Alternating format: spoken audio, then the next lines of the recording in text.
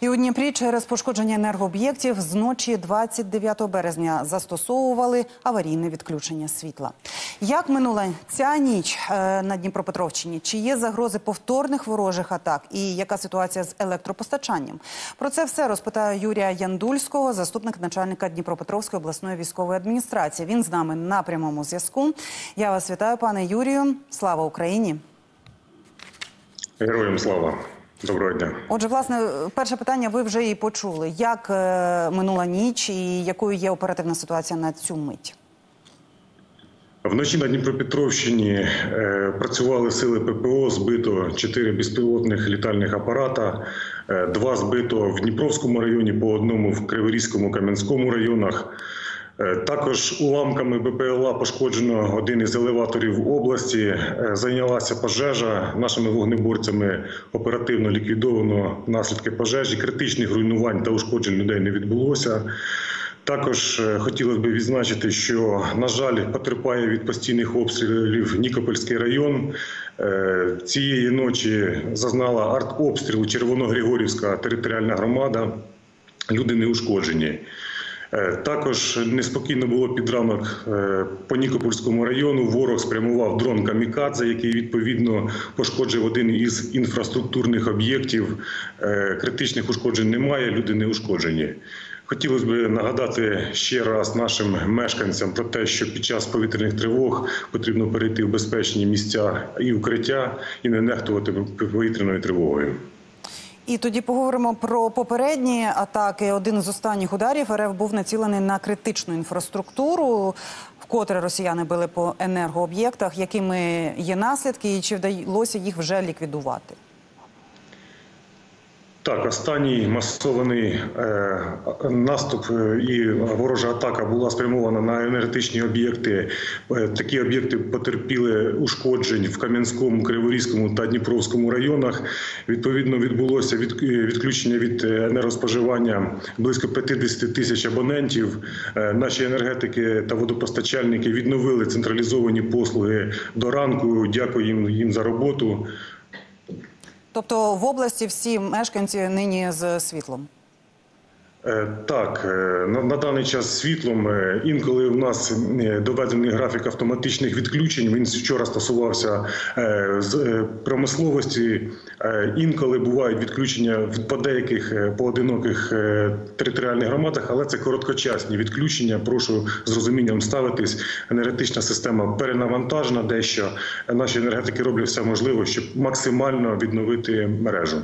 І головне питання: під час останніх атак були поранені цивільні. Який їхній стан?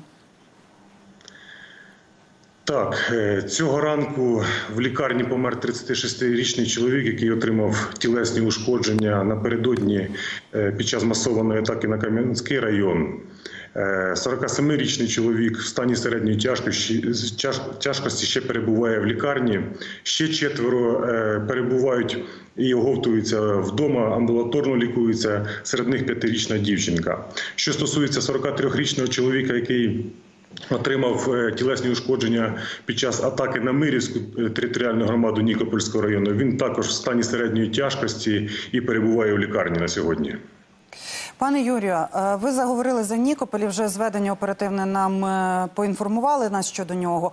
Але цікавить ще питання: чи виявляють люди бажання виїхати звідти, і чи є в них така можливість, і є куди їхати?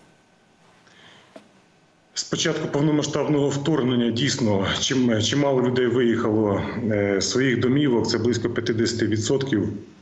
Е, Але на даний час люди проживають Е, зараз. е, Влада поруч е, наших громадян, наші комунальщики роблять все можливе для того, щоб відновлювати централізовані послуги, та люди себе відчували захищеними. Дякую силам оборони про те, що е, вони дійсно захищають е, наш регіон.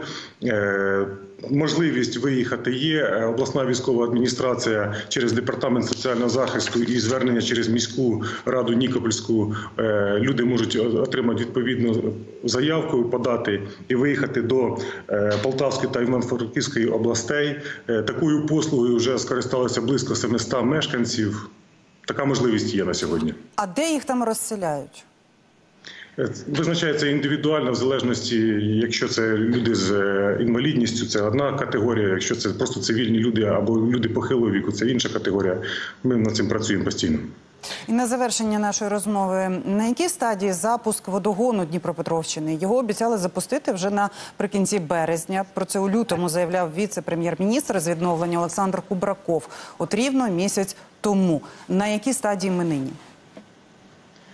Нагадаю, що після підриву Каховської ГЕС влітку минулого року відбулося е, фактично відсутність можливості подачі води в Криворізький та Нікопольський райони. Впроваджувались різні технічні рішення, локальні, але основним е, це було е, будівництво магістрального водогону.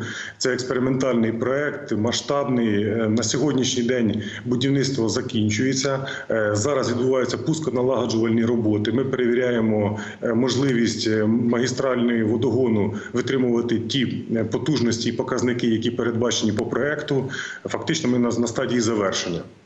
А як е, компенсуєте брак е, централізованого водопостачання? І які саме от міста, е, райони без води?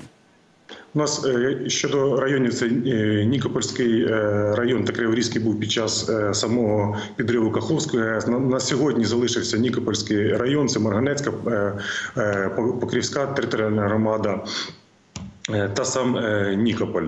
Е, Знаєте, що наші міжнародні партнери, дякую їм, постійно під час самої атаки з червня минулого року надавали нам можливості забезпечення питною водою населення. На даний час є і свердловини, які за цей період вже були зроблені, але все ж таки ми чекаємо експериментальний закінчення експериментального проекту магістрального водогону, тому що якість води набагато збільшиться, її спроможність і подача, самі об'єми будуть збільшені. Чи фіксуєте ви, що на росіяни, наприклад, намагаються зашкодити обстрілами саме будівництво цього водогону?